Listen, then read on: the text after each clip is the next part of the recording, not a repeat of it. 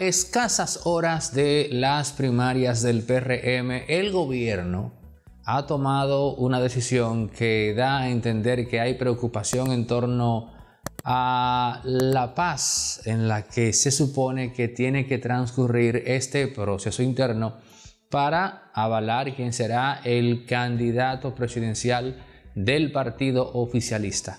¿Y cuál es esa medida? Bueno, esto es una primicia y le voy a pedir a producción que lo coloque en pantalla completa ahora mismo. Eso que ven ahí, señores, es un memorándum de las Fuerzas Armadas.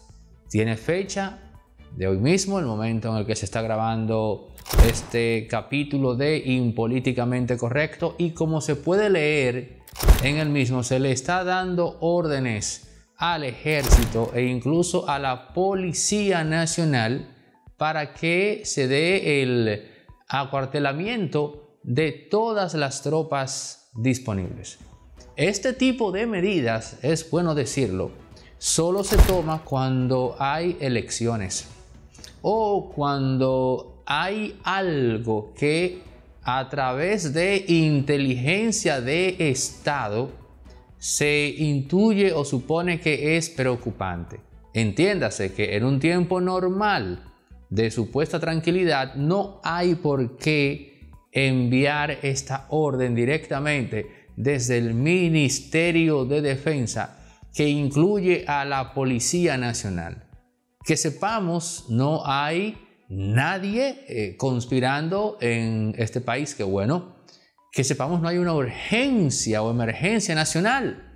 El único proceso que casualmente es colindante o que coincide en espacio-tiempo con esta medida es el proceso de la primaria del PRM. Así que si usted, al igual que yo, intuye que este acuartelamiento se da porque la primaria está a la vuelta de la esquina, usted no está siendo conspiranoico. Ese acuartelamiento, señores, tiene como razón de ser las primarias del PRM que se efectuarán dentro de pocas horas. ¿Y qué es lo que saben ellos? ¿Es acaso que entienden o saben o intuyen que el doctor Gómez Mazara y el propio ingeniero Ramón Albuquerque, digo, yo no sé, estoy, estoy especulando, estoy, estoy tratando de buscarle una razón de ser a esto, porque si hubiese sido, y esto para que usted me comprenda, si hubiese sido la primaria del PLD, si hubiese sido la oposición, las Fuerzas Armadas no hubiesen mandado a, cortar las tropas. No, pero lo hacen previo, justo previo a las primarias. Esto tiene una lectura política. Y yo imagino que ya el doctor Gómez Mazara y el propio Ramón Albuquerque están enterados. La lectura política de esto obligada es, tense quieto. Tense quieto. Esa es la lectura que al menos yo le doy. Puede ser que me equivoque, soy ser humano, pero se supone que las primarias del PRM no son eh, un proceso que tiene que traerle sí o sí intranquilidad a la sociedad. Se supone que es un proceso que tiene que transcurrir en, en armonía y que al final se van a aceptar los resultados. ¿No? Como pasó en su momento cuando Danilo enfrentó a Leonel, amén del resultado final. Lo que quiero decir con esto es que no hay razón de ser para esta medida que ha tomado el Ministerio de Defensa porque incluso si tiene que ver con la primaria, que evidentemente es con eso que tiene que ver, tampoco ahí se justifica. Porque se supone que esa primaria va a ser un ejemplo para el resto de la sociedad en torno al ejercicio de la democracia representativa, participativa, en fin, dentro o en el seno de un partido que en este caso es el que está en el poder. Así que la interpretación correcta de esto es que Luis Abinader, porque esa medida no vino de otro lado, Luis Abinader tiene cierta preocupación en torno a las primarias. ya sea porque entiende él que la van a sabotear, ya sea porque entiende él que, que no se van a acatar resultados, o ya sea, no sé, bueno, no, no quiero irme muy lejos, no quiero conjeturar más allá. Ahora, ¿cuál será la reacción del doctor Gómez Mazara? La reacción del ingeniero Ramón Alburquerque, quien ya dijo que va a demandar al partido y al propio presidente ante este acuartelamiento de tropas que incluye a la policía, que a todas luces tiene como razón de ser las primarias que ya vienen por ahí. Bueno, yo pensaba que eso no tenía por qué generar preocupación, pero luego de ver esto he cambiado categóricamente de opinión. Dígame usted su opinión en torno a esta decisión que sin dudas vino del palacio no vino de la cabeza del general Carlos Luciano Díaz Morfo, no, no, no, no, eso vino del palacio. Habría que ver si algún asesor le recomendó esto al presidente. Señores, nos desplazamos un poco del conflicto fronterizo a la parte política. Vamos a ver cómo transcurren estas primarias. Yo no sé si sea mucho pedir que las mismas transcurran en paz. Recuerden que tenemos nuevo proyecto Enfoque Público en la descripción de este video. Dejé el link para que entren al canal y se suscriban. Apóyennos también ahí. Gracias por continuar junto a nosotros al pie del cañón. Yo me llamo Julia Altagracia Cristina. Yo nací en Alto Mayor del Rey, pero me quedé aquí en San Pedro. Yo me dedico a la venta de ropa bueno, yo antes de la clase en el colegio de la UCI, yo lo que me levanto es haciendo oficio, me pongo a hacer el patio, me pongo a fregar, a limpiar, hacer mi limpieza.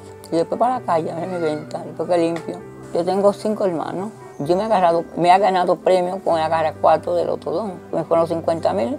Después ahora el millón que me saqué, yo voy a seguir negociando, voy a comprar una paca, yo voy a, ampliar más mi negocio. Y así jugando con el otro Bueno, yo le digo a esa persona que sigan jugando, que esto es verdadero, que según yo gané, otros pueden ganar. Feliz, contenta, muy contenta, gracias a Dios. Yo me gané un millón de pesos con los todos, con el millón de los sábados. Farmacia Medicar GBC sigue con su 20% de descuento en todos los medicamentos abiertos de lunes a domingo. Pero lo importante, lo más importante es que siguen en constante expansión en todo el país Dentro de poco, literalmente, usted podrá encontrar una farmacia medical GBC cada cuatro o cinco esquinas. Así que bueno, porque ese crecimiento eh, viene por eh, el reconocimiento que ha hecho la población a ese trabajo, esa, digamos, esa disposición para hacer todo lo posible para que medicamentos esenciales lleguen a las manos del público. Por eso, la farmacia medical GBC es la de nosotros, los dominicanos. Tu primer carro es posible con Centro Electronic RD, los pioneros en República Dominicana en vehículos eléctricos. Desastre de el consumo en combustible fósil y lleva, oigan esto que voy a decir, un consumo promedio de 10 o 15 mil pesos. Te puede quedar en un mes entre 500 y 1000 pesos si tu vehículo es eléctrico. Pero también Centro Electronic RD tiene, eh, tiene una flotilla vasta, extensa de vehículos para fines corporativos y empresariales. Centro Electronic RD, tu primer vehículo eléctrico totalmente para que la factura del combustible no sea una carga. Y para las empresas, tenemos camiones, tenemos vehículos tipo deliveries, camionetas, en fin para que también el costo en combustible en grado amplio no sea una carga. Centro Electronic RD, teléfonos en pantalla para más información. Si vas de parte de Impolíticamente Correcto, tienes un descuento de 500 dólares en cada compra. Resorte Media ha ampliado sus instalaciones y ahora tenemos más espacios para hacer posible que tú grabes tus contenidos en un ambiente confortable, exageradamente cómodo, parqueo, tenemos todos los parqueos eh, necesarios para que tú y tu equipo vengan a grabar en nuestros estudios en el 829-741-3061 puedes tener o conocer con lujo de detalle todo lo que tenemos para ti acá en Resorte Media para hacer que des ese paso audiovisual al más alto nivel. Estamos en una ubicación privilegiada en la, en la avenida Rómulo Betancourt, casi llegando a la Sarasota, en la César Augusto Roque con esquina 12 de julio, justo detrás de Burger King la segunda calle detrás de Burger King, valga la cuña. Ahí están las nuevas instalaciones de Resorte Media, 750 metros a tu disposición con una gran variedad de, de locaciones para tú hacer realidad tu sueño fílmico. Contáctanos en el 829-741-3061 y vamos allá. Los planes más competitivos en términos económicos del mercado para que grabes con calidad 1A al más alto nivel. Atención a todos los profesionales, emprendedores y empresas medianas y pequeñas que quieren tener su contenido de calidad circulando por las redes sociales, dando a conocer sus servicios. En Resorte Media hemos habilitado una unidad audiovisual especializada en la producción de contenido corporativo, empresarial y para todo aquel emprendedor que quiere acogerse a aquello de que dice que una imagen vale más que mil palabras en efecto, podrás tener las mejores imágenes, la mejor calidad al precio más competitivo del mercado para dar a conocer tu servicio a todos acá en República Dominicana. E incluso si tu empresa capta clientes en el extranjero, también podrás contar con eso. Contáctanos, escríbenos al 829-741-3061 para que arranques desde ya a colgar contenido en tus redes sociales con la mejor calidad audiovisual posible, la que Resorte Media pone a tu disposición con el presupuesto más eh, asequible del mercado.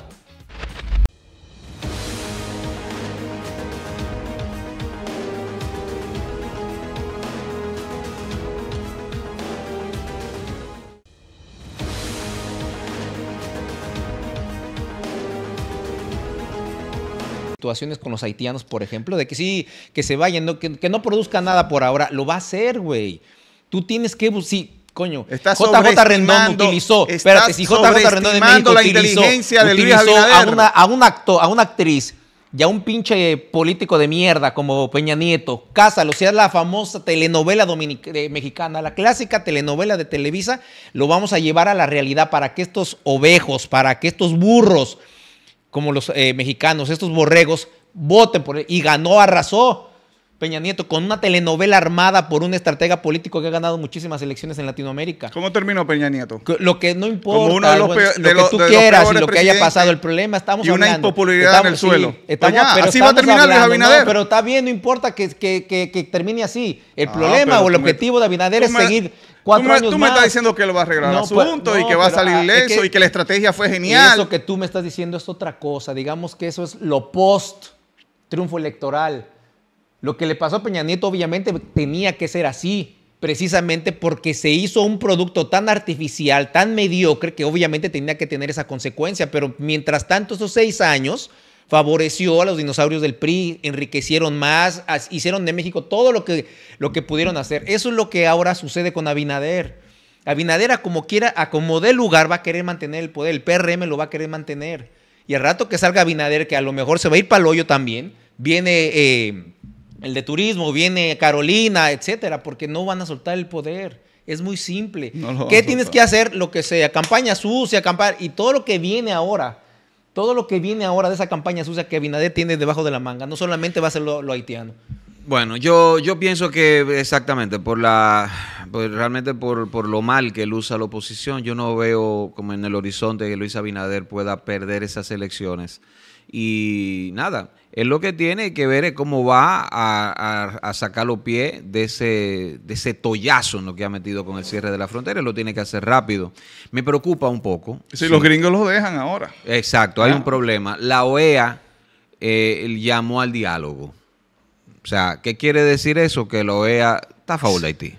Ya, Porque cuando no, se, cuando se manifiestan, derecho, cuando se manifiestan, derecho a usar el río, cuando se manifiestan imparciales, Ya. ya están a favor de Haití. eh, y yo Sí, creo que favor, y el comunicado de respuesta que le dio el gobierno, pues deja mucho que desear y no ayuda al diálogo. Eh, eso es, eso es la, esa es la gran preocupación. Y, y nada, vamos a pagar los platos rotos, pero ni siquiera va a haber un presidente al cual reclamarle y usted va a votar por él Coman huevo, coman huevo, va a cómeselos votar ahí para por que no él. lo tiren. Usted coman. va a votar por él por su reelección, bien contento y, y como que nada ha pasado y le sacaron a sus haitianos. Y ni siquiera usted, que es un anti-haitiano, una anti-haitiana, no tiene el valor de ir a trabajar, de ir a, a- a- A suplir, a suplir la ausencia de los haitianos. Usted no quería haitianos fuera. Luis Abinader lo va a traer otra vez, dice el charro bachatero. Ah, rato, lo va a claro. Lo va a Bueno, traer. entonces, joder. Él mismo lo va a ir a buscar. Esta es la quinta pata, José Maracayo, el Charro Bachatero, Edwin Recuerden suscribirse, darle like, activar campanita, comentar y todo eso.